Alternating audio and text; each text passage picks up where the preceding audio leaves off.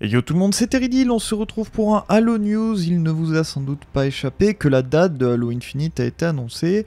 Ce sera donc pour le 8 décembre 2021. Et avec cette date ont été annoncées une console aux couleurs du jeu ainsi qu'une manette Elite Série 2. Alors le sujet de cette courte vidéo news, ça a porté sur les disponibilités de cette console et de cette manette puisque la question nous est revenue un certain nombre de fois déjà. Alors en France, la console est disponible sur le Xbox Store officiel ainsi que chez Micromania. Quant à la manette, eh bien c'est aussi sur le store Xbox chez Micromania, mais aussi sur Amazon France. La console est affichée à 550 euros contre 500 euros pour une série X standard, sauf que là vous avez le jeu en dématérialisé qui va être inclus avec.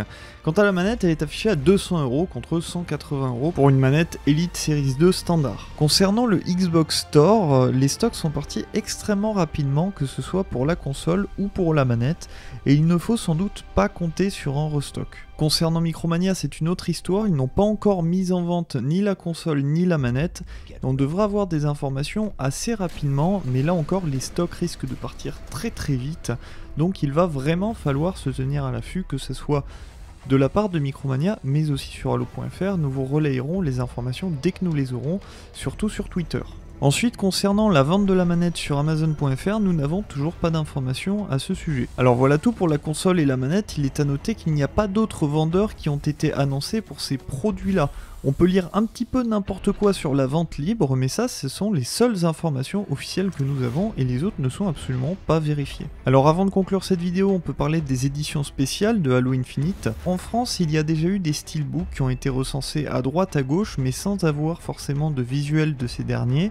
Et dans d'autres pays, il y a eu une édition spéciale qui contenait un steelbook, il me semble un pins, et certains coatings. Quoi qu'il en soit, il n'y a pas eu d'édition euh, vraiment intéressante qui a été annoncée. J'entends par là une édition avec une statuette ou d'autres goodies euh, un petit peu plus importants.